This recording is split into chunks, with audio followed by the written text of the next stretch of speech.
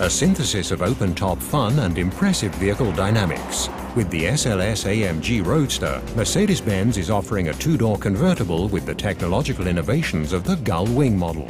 The uncompromising lightweight design principle is continued in the three-layer soft top, a weight-optimized magnesium steel aluminium construction.